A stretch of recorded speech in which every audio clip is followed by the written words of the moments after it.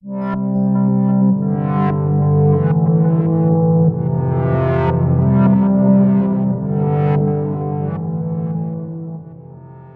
hello. I'm Bretton, one of our MCAT tutors here at Inspira Advantage, where we help students get into med school and other professional programs. Today, we will be exploring the concepts of work and mechanical advantage, as well as how simple machines can help us accomplish tasks more efficiently. These topics are essential for understanding various principles in the physics and chemistry sections for the MCAT. Let's jump on in. Beginning with defining what is work anyway.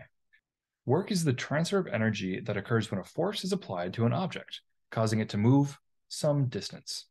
The SI unit for work is that of a joule, which is the same as for energy. So the breakdown for work is the exact same. We've got joules, which we can break down into newtons meters, and newtons can further be broken down into kilograms meters over second squared. So this whole thing becomes kilograms meters squared over second squared.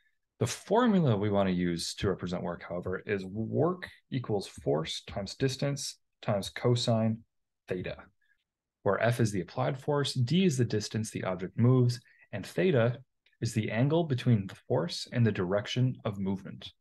When the force is applied in the same direction of movement, the angle difference between it is going to be zero degrees. And if we take the cosine of zero, well, that equals one. So the work equation can then be simplified to just work equals force times distance, and we can ignore cosine theta. This is often the case on the MCAT, but not all the time. Some classic ways you can see work tested on the MCAT are pushing some object, carrying something, and note here on the right that this would be a work of zero because the force applied is at a 90 degree angle to the distance of the object being moved.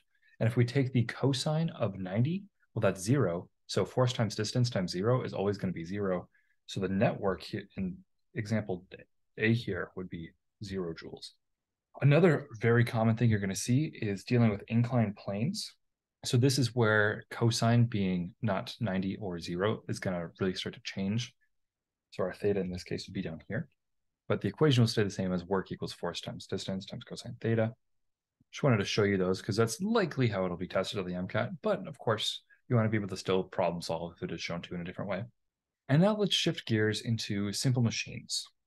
Simple machines are devices that can be used to change the direction or magnitude of a force to make tasks easier.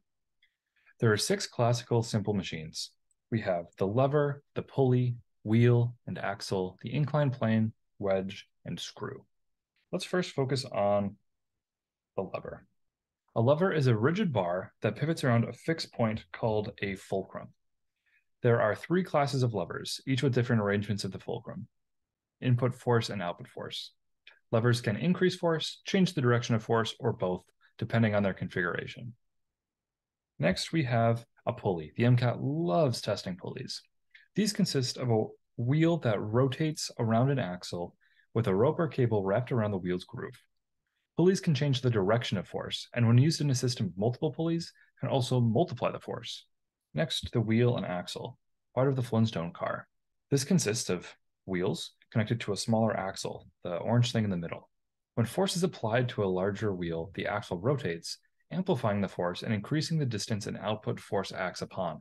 And now, probably the most tested you're likely to see on the MCAT is an inclined plane.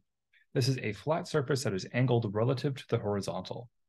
By moving an object up an inclined plane, the force required to lift the object vertically is reduced, while the distance over which the force must be applied is increased.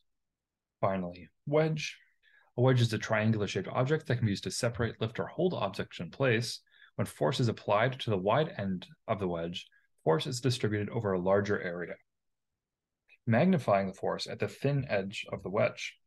And finally, the screw. A screw is a cylinder with a helical groove or thread that wraps around its surface.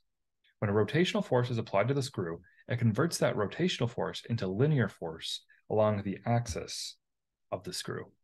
Simple machines work by either changing the direction of the applied force or redistributing the force over a larger area. Either of these can result in an increased output force or a reduced input force. And finally, I just want to show you how to quickly calculate mechanical advantage. To do this, you just put the force out on top divided by the amount of force you're putting in. For the example of an inclined plane, it's typically easier to just put the length of the incline and the height of the height. So length over h. This will give you mechanical advantage, which the MCAT will sometimes ask you to calculate. So I just want to make sure you know how to do this. When a mechanical advantage is greater than one, this is indicating that the machine is amplifying the force, while a mechanical advantage less than one means the machine reduces the force, while the mechanical advantage of one means there's no change in force. And the simple machine probably isn't doing all that much.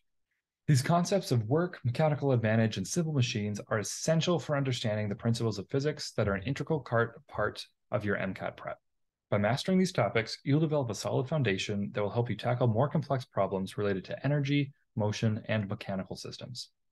Thank you so much for watching our video on work and simple machines, and I will see you next time.